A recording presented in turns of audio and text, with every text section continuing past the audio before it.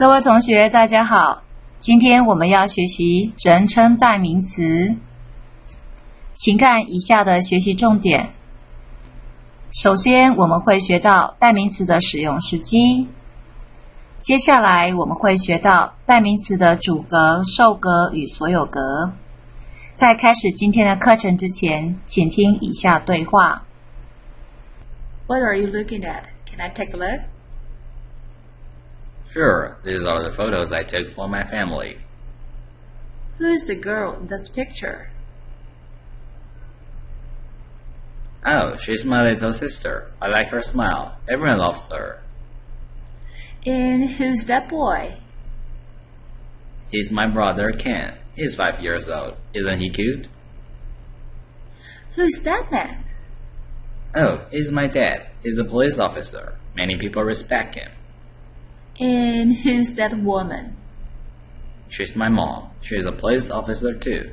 Her job is to direct traffic. Your dad and mom both officers. They look so cool. Thank you. I love them very much. We're a happy family. 请看第一个重点：代名词的使用时机。什么时候要用代名词呢？代名词是代替前面所提过的名词，以避免重复。 要注意的是，代名词有单复数、人称、性别以及主格、受格、所有格的变化。请听以下例子：Tom is my best friend. Tom is 14 years old. Tom's dad is a teacher. Tom's mom is a nurse. Tom's sister is a senior high school student. Tom's sister is 18. They have a dog. The dog is two years old. They love the dog very much. 各位发现了吗？在这篇短文里面，许多的名词一再的重复，这时候我们就可以使用代名词来避免这样的重复。这篇短文就可以改写成：Tom is my best friend. He is 14 years old. His dad is a teacher. His mom is a nurse. His sister is a senior high school student. She is 18. They have a dog. It is two years old. They love it very much.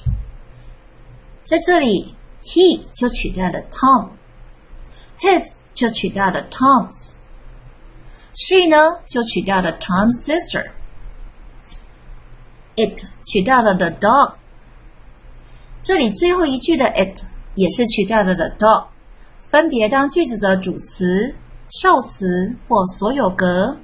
现在我们就来看看要怎么做主格、受格、所有格的变化呢？重点二：代名词的主格。请观察以下的人称、单数、复数以及它的例子。第一人称 I, I am Kevin. We, we have a pet dog. 第二人称 You, you are Judy. You, you have two cats. 第三人称 She, she is cute. He, he is five years old. It, it is guide dog. 复数 They, they love animals too. 代名词的主格当句子的主词放在动词之前。重点三：代名词的受格。代名词的受格要怎么使用呢？请观察以下的例子。首先看到第一人称单数、复数的例子：me, look at me, us, follow us。第二人称 you, I will call you. You, the teacher asks you to do your best. 第三人称 her, John likes her. Him, she doesn't like him. It, the doctor checked it carefully. Them, we can tell them. Them, will you help them? them. I can take care of them. 发现了吗？代名词的受格当句子的受词放在动词或介系词的后面。接下来，请看重点四：代名词的所有格。请观察以下的表格以及例子。首先，第一人称 my。Where is my cell phone? Our. Follow our directions. 第二人称 your. I will call your family. Your. Your parents have arrived. 第三人称 her. Her hair is black. his. She doesn't like his dog. Its. Its leg got broken. Their. We can solve their problem. There. Their child was sick. Their. I can take care of their pets. 所有格是放在名词之前，当做形容词用。Use the correct pronoun I, my, me. My name is Jason. I am your friend. Do you remember me? Use the correct pronoun we, our, us. Our garden is beautiful. We have many flowers. Can you visit us often?